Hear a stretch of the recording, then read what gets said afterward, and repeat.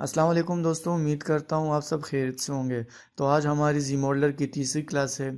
तो इस क्लास में हम जी मॉडलर में स्केल मूव एंड रोटेशन ये तीन चीज़ें सीखेंगे जो आपको बहुत काम आने वाली है। इसके अलावा आप कोई चीज़ भी मतलब अटैच डिटेच वगैरह नहीं कर सकते, ठीक है? तो मैंने एक एग्जांपल के लिए आपको इस गाड़ी से एंटीना को जो है ना, वो साइड पर कर दिया है और उसकी साइज़ भी मैंने जो है ना, वो बड़ी कर दी है। तो ये एग्जांपल के लिए। तो इसकी जो एंटीना है, वो मैंने हटा दी है और इस ट्रक को मैंने यहाँ से डिलीट कर देना है, ठीक है? तो लेकिन मैं अभी इसको डिलीट नहीं कर रहा।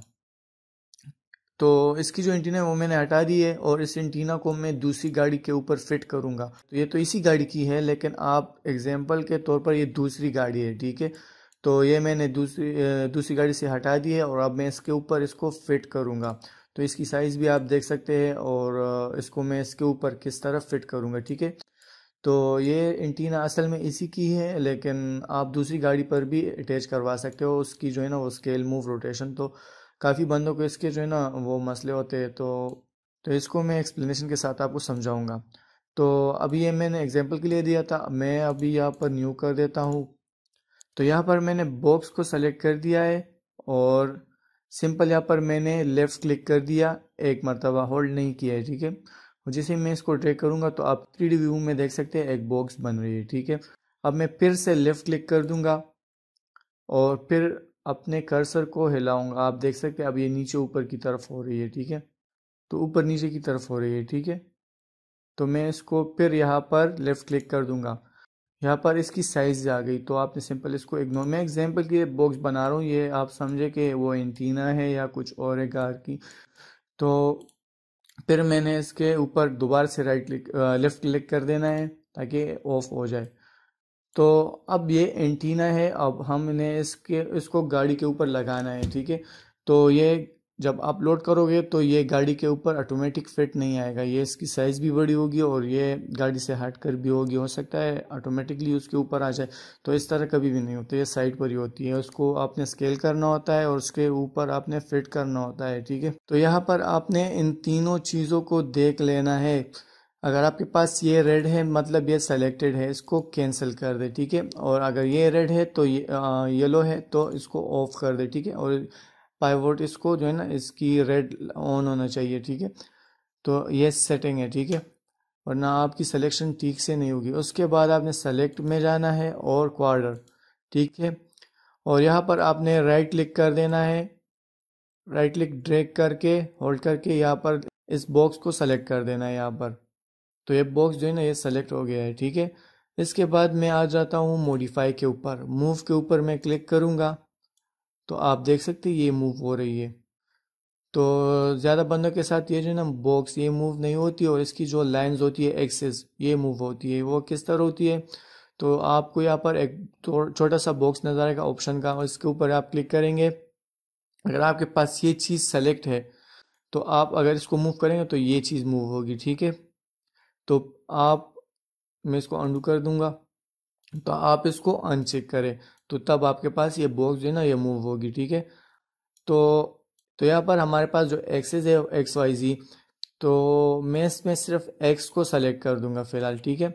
इससे क्या होगा, अगर मैं ऊपर जाऊँगा, नीचे जाऊँगा तो ये नहीं जाएगा, ये सिर्फ़ लेफ़्ट राइट होगा, ठीक है? यहाँ पर लेफ़्ट राइट होगा, क्योंकि मैंने सिर्फ़ यहाँ पर एक्स सेलेक्ट कर दिया है। अगर मैं एक्स को डिसेबल कर दूँ और वाई को इनेबल कर दूँ तो यहाँ पर ये टॉप व्यू है तो वाई हमें दिखाई नहीं देगी, मैं राइट में चला जाता हूँ। जेड प्रेस कर देता हूँ ताकि ये जूम हो जाए, ठीक है? अब यहाँ, यह हमारे पास जो है ना वाई सेलेक्ट है एक्स मैंने डिसेबल कर दिया। अब मैं इसको मूव करूँगा तो ये ऊपर नीचे हो रही है। मैं इस तरह भी कर रहा हूँ, लेकिन ऊपर नीचे हो रही है, ठीक है? अब अगर मैं एक्स वाई दोनों को सेलेक्ट कर दूँगा तो ये अब हर तरफ़ मूव होगी, ठीक है? तो ये इसकी सेलेक्शन थी। तो इससे जो है ना, आप राइट व्यू में गाड़ी के डिक्की के ऊपर आप इसको फिट करोगे और फिर आपको अगर सिंपल आगे पीछे करना है तो आपने यहाँ से मतलब वाई सेलेक्ट कर देना है, फिर आपने इसको इस तरह ऊपर नीचे वो फिट कर देना है तो इसकी अलाइनमेंट ठीक होगी, ठीक है? तो ये मूव टूल हो गया। इसके बाद स्केल की जो है ना, वो बात आती है, लेकिन मैं लास्ट में इसको सिखाऊँगा, क्योंकि इसके, इसमें काफ़ी मतलब पॉइंट्स है, वो मैं आपको समझाऊँगा। इसके बाद आपने जाना है स्केल के ऊपर तो आप इसको छोटा बड़ा कैसे करेंगे? जो इंटीना था, वो उसकी साइज़ बहुत बड़ी थी। अब हमने उसको छोटा करना है और उसके गाड़ी के शेप के मुताबिक हम तो वो हम किस तरह करेंगे? यहाँ पर भी आपके पास मतलब एक्स वाई जेड वही जो हमने मूव की तरह किया था। तो ये दोनों को आपने अगर सेलेक्ट किया हो और आप इसको छोटा करोगे तो ये छोटी होगी। लेकिन आप यहाँ पर थ्री डी व्यू में देख सकते हैं, ये कुछ, इसकी साइज़ आपको अजीब तरह की दिखाई देगी। क्योंकि ये जेड हमने सेलेक्ट नहीं किया है, ठीक है? मैं अंडू कर दूँगा। तो जेड के साथ ये दोनों सेलेक्ट नहीं होगी। अब क्या होगा? अब आप देख सकते हैं थ्री व्यू में इस तरह छोटी बड़ी हो रही है, ठीक है? और अगर मैं एक्स सेलेक्ट कर दूँगा, अब आप देख सकते हो कि ये इस साइड पर तो मैं इस तरह मतलब मुझे ये पूरा बॉक्स जो है ना, वो सेलेक्ट करना है और एक ही साथ मतलब हर एक्स वाई जी मतलब इन तीनों चीज़ों को एक ही साथ मतलब स्केल करना है, ठीक है? जब आप इन तीनों को स्केल करोगे तो उसकी साइज़ जो है ना, वो लंबी पतली छोटी बड़ी होगी ठीक है? तो आपने क्या करना है? सिंपल कीबोर्ड से लेफ़्ट शिफ्ट को होल्ड कर देना है यहाँ पर। और फिर आपने जो है ना स्केलिंग करनी है। बस सिंपल आपने बॉक्स के ऊपर क्लिक कर देना है और होल्ड करके ऊपर नीचे कर देना है यहाँ पर। तो, तो मैं इस पेंडम में जूम कर दूँगा यहाँ पर जी बटन से क्योंकि इसके लिए मैं इसको छोटा कर दूँगा। तो ये छोटा मैंने किस तरह की ये माउस की जो व्हील होती है इससे जो ना होती है। तो ये मैं इसको मूव कैसे कर रहा हूँ? ये माउस की जो व्हील होती है ना, उसको प्रेस करें और आप इसको मूव कर सकते हो, ठीक है? अब मैंने शिफ्ट को होल्ड कर देना है और या ऊपर या नीचे लेफ़्ट राइट मतलब इसमें से एक ही साइड पर ये जो है ना, इसकी साइज़ वो इंक्रीज़ हो जाएगी, ठीक है? अब मैं ऊपर की तरफ़ जा रहा हूँ तो इसकी साइज़ जो ना वो बढ़ रही है, ठीक है? शिफ्ट बटन को आपने नहीं छोड़ना ठीक है? इसको होल्ड पर रखे और ऊपर की तरफ़ जाए।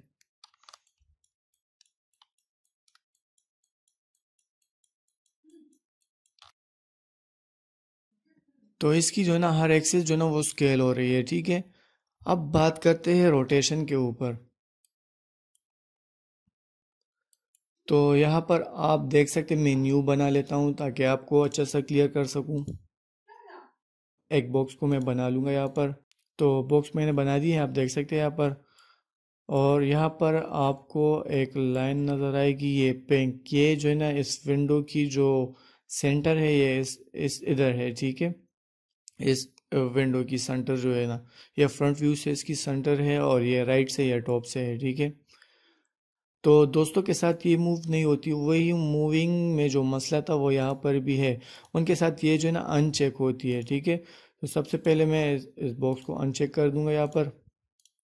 और यहाँ पर मैं सेलेक्ट में जाऊँगा क्वार्टर और यहाँ पर मैं जो ना राइट क्लिक करके इसको सेलेक्ट कर दूँगा। राइट क्लिक से, ठीक है? अब राइट क्लिक से मैंने इसको सेलेक्ट किया, अब मैं मॉडिफाई के ऊपर जाऊँगा, अब मैं रोटेशन के ऊपर क्लिक करूँगा, अब मैं इसको मूव करूँगा तो आप देख सकते हैं ग्रीन एंड रेड लाइन जो ना, वो ऊपर नीचे हो रही है बॉक्स नहीं हो रही, ठीक है? तो मैं यहाँ से पीछे अंडू कर दूँगा।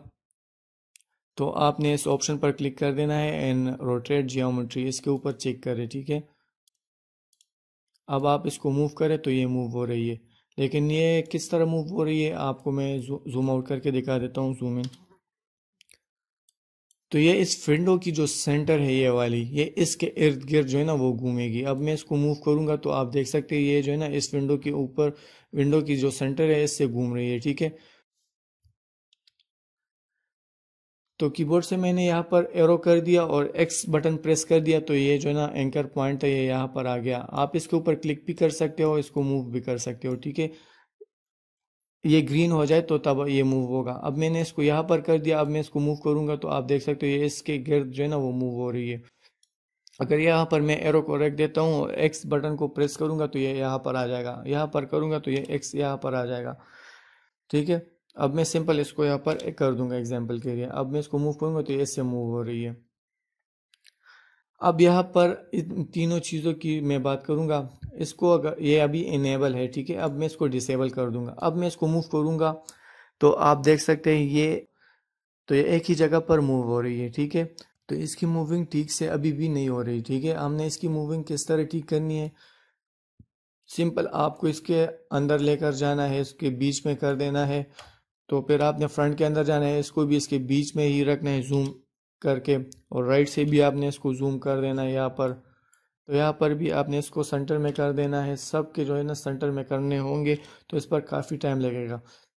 तो इसकी शॉर्टकट की मैं एक टिप दे रहा हूँ आपको। एक तो आपने सिंपल यहाँ पर डिस्प्ले में जाना है यहाँ पर और यहाँ पर आपने ये चीज़ सेलेक्ट करनी मैं इसको जूम कर दूँगा यहाँ पर।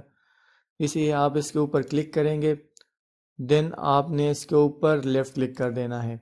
तो ये तो ये दोनों लाइनें इसके ऊपर आ गई। अब मैंने मॉडिफाई के ऊपर जाना है रोटेट के ऊपर जाना है। अब मैं इसको मूव करूँगा। तो आप देख सकते हो कि एक ही जगह पर मूव हो रही है, ठीक है? इस तरह। तो ये काफ़ी सिंपल है बनस्बत उसकी जो आप इसको सेंटर में करोगे। अब यहाँ पर अगर ये चीज़ आपकी ऑन है तो फिर इसकी रोटेशन गलत होगी, ठीक नहीं होगी, ठीक है? तो आपने ये शोर कर देना है, ये इसकी रोटेशन जो ना, ये ऑफ़ होनी चाहिए। तो तब इसकी जो है ना वो रोटेशन होगी।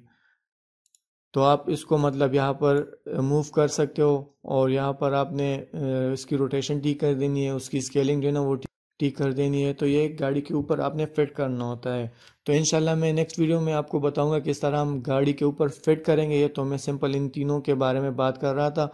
तो वो गाड़ी मैंने सिर्फ़ आपको दिखाई थी कि किस तरह हम इसको एडजस्ट करेंगे। तो बॉक्स एग्ज़ाम्पल के लिए था। इनशाला नेक्स्ट वीडियो में हम उसको उस गाड़ी से हटा के दूसरी गाड़ी में जो है ना वो फिट करेंगे। तो आप एक भी वीडियो को स्किप ना कीजिए, क्योंकि सब वीडियोस आपके लिए ख़ास होगी और ये तो जो चीज़ मैं इस वीडियो में सिखा रहा हूँ, हो सकता है वो दूसरी वीडियो में ना सिखाऊँ, क्योंकि बार बार मैं इन तीनों चीज़ों को एक्सप्लेन नहीं कर सकता। फिर आप लोग कमेंट करते हो कि भाई आपने इसको स्केल कैसे किया ये तो वीडियो को स्किप ना करें, सारे वीडियोस को सीरीज़ में देखें तो इंशाल्लाह आपको कोई मसला नहीं होगा।